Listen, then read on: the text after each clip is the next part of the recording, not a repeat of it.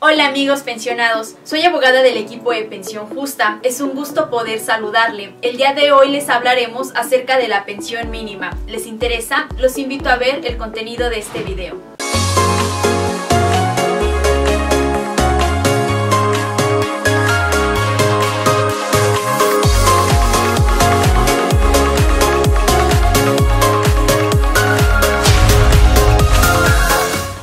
Bienvenidos una vez más a nuestro canal de Pensión Justa.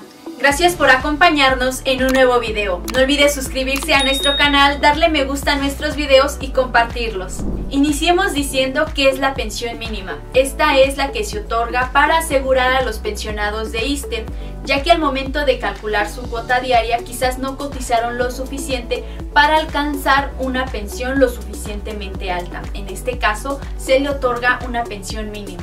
Pero ¿quién autoriza esta cuota mínima? La H Junta Directiva del ISTE mediante un acuerdo publicado en el año 1986. Ahora bien, ¿cómo se calcula esta cuota mínima? El monto mensual es equivalente a un salario mínimo general vigente multiplicado por 30 días.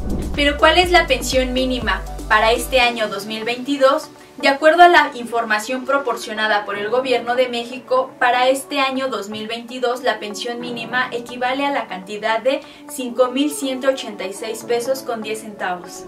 ¿La pensión mínima aplica para todas las pensiones? La respuesta es no. No aplicaría para las pensiones por incapacidad permanente, ya sea parcial o total, ya que la cuota diaria es determinada por la junta directiva y los incrementos que le van a corresponder son de acuerdo a la ley que estaba vigente al momento en que se otorgó la pensión.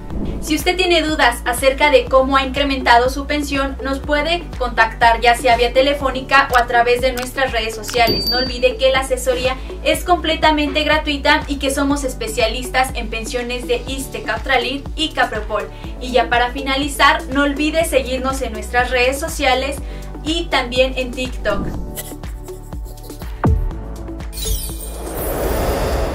Somos Pensión Justa.